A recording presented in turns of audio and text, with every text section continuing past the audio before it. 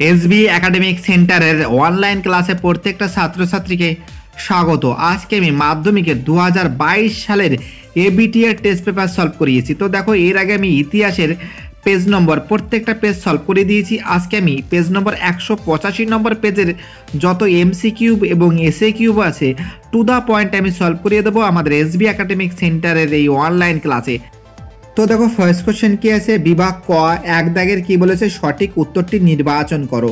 One point অনেক কি আছে? ইতিহাসের জনক বলা হয়। ইতিহাসের জনক বলা হয়, এর অ্যান্সার হবে, কয়ের অ্যান্সার হেরোডোটাসকে তো দেখো পরের কোশ্চেন কি আছে? ওয়ান পয়েন্ট টুতে নতুন সামাজিক ইতিহাস চর্চার আলোচ্য বিষয় হলো। এর অ্যান্সার কি হবে? ঘয়ের অ্যান্সার সাধারণ মানুষ।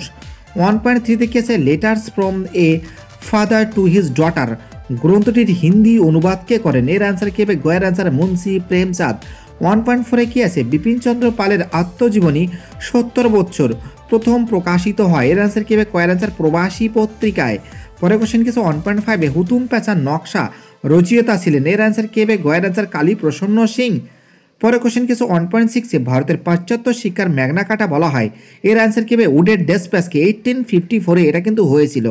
তো দেখো যদি কোনো কোশ্চেনের অ্যান্সার যদি আমার ভুল হয়ে থাকে সেটা তোমরা ঠিক করে লিখে দেবে আমাদের কমেন্ট বক্সে পারলে আমি ডিসক্রিপশন বক্স এবং কমেন্ট বক্সে লিখে দেব। তো দেখো মাধ্যমিক থেকে শুরু করে উচ্চ মাধ্যমিক পর্যন্ত যত এবিটিআর টেস্ট পেপার যত সাবজেক্ট আছে প্রত্যেকটা সাবজেক্টের টু দ্য পয়েন্ট আমি সলভ করিয়েছি। আমাদের এসবি একাডেমিক সেন্টারের এই অনলাইন ক্লাসের মাধ্যমে। এর আগে আমি ভূগোলের এবং ইতিহাস প্রত্যেকটা সাবজেক্টের যত এবিটিআর টেস্ট পেপার আছে সেগুলো আমি সলভ করিয়ে দেবো। যদি চ্যানেলে যদি নতুন সদস্য হয়ে থাকো, চ্যানেলটি সাবস্ক্রাইব করবে, পাশে থাকা বেল আইকন অন করবে, অল নোটিফিকেশন অন করে সমস্ত বন্ধুদের মধ্যে শেয়ার করবে।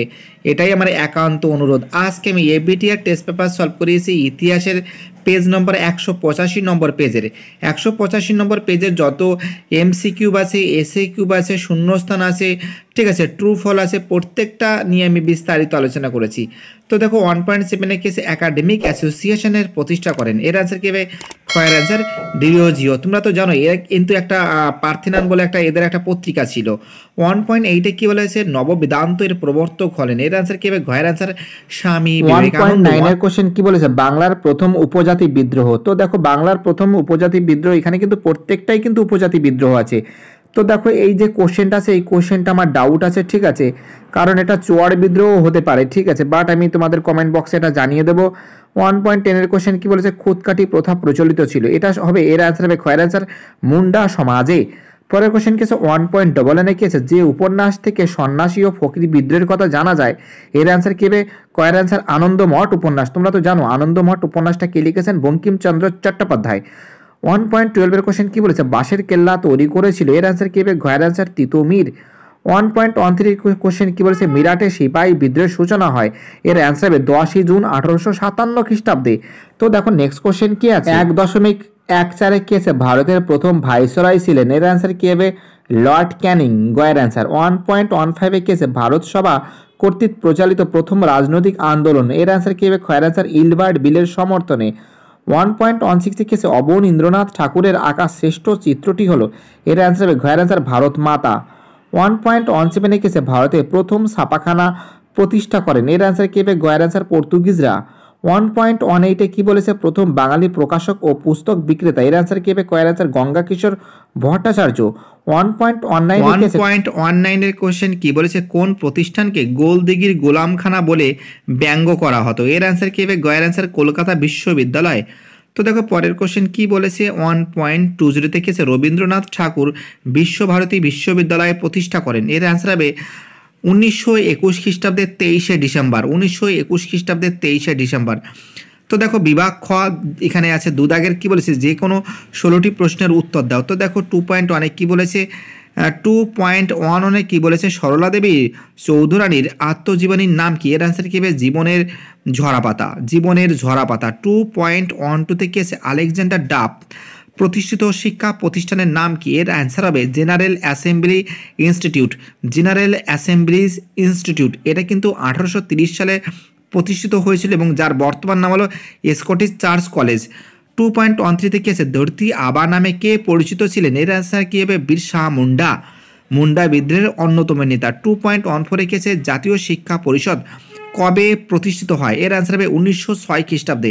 এবার দেখো উপবিভাগ টু পয়েন্ট টুতে কী বলেছে? ঠিক বা ভুল নির্ণয় করো। ফার্স্ট কোশ্চেন কি টু পয়েন্ট টু ওয়ানে ভারতের প্রথম রাজনৈতিক পত্রিকা হলো সোমপ্রকাশ। এটা পুরোপুরি ভুল আছে। এর অ্যান্সার হবে বঙ্গভাষা প্রকাশিকা সভা। টু পয়েন্ট টু টুতে কী বলেছে? ব্রহ্মানন্দ নামে পরিচিত ছিলেন দেবেন্দ্রনাথ ঠাকুর। এটা পুরোপুরি ভুল আছে। কেশবচন্দ্র সেন ছিল ব্রহ্মানন্দ নামে পরিচিত। টু পয়েন্ট টু থ্রিতে কী আছে? কার্ল মার্কস মহাবিদ্রোহকে সামন্ত বিদ্রোহ বলেছেন। এটা কি আছে? ভুল আছে। কারণ কার্ল মার্কস মহাবিদ্রোহকে জাতীয় বিদ্রোহ বলেছেন। জাতীয় বিদ্রোহ বলেছেন। টু পয়েন্ট টু ফোরে কেসে ঈশ্বরচন্দ্র বিদ্যাসাগর মহাশয়ের বর্ণপরিচয় বইটি প্রথম প্রকাশিত হয় আঠারোশো পঞ্চান্ন খ্রিস্টাব্দে। এটা ঠিক আছে মানে আমি রাইট চিহ্ন মেরেছি। তো দেখো যদি কোনো কোশ্চেন অ্যান্সার বলতে যদি আমার ভুল হয়ে থাকে প্লিজ সেটা আমি ঠিক করে দেবো আমাদের ডিসক্রিপশন বক্স এবং কমেন্ট বক্সে কারণ এত বড় একটা ভিডিও এবং প্রত্যেকটা সাবজেক্ট নিয়ে আলোচনা যদি কোনো কোশ্চেন বাই মিস্টেকে ভুল হয়ে যায় সেটা আমি কমেন্ট বক্স এবং ডিসক্রিপশন বক্সে লিখে দেবো এবং যদি কোনো কিছু ভুল হয়ে থাকে তোমরাও কমেন্ট বক্সে লিখে দেবে। এটা আমার একান্ত দেখো উপবিভাগ টু পয়েন্ট থ্রির কয়স্তম্ভের সঙ্গে ক্ষয়স্তম্ভ মিলাও।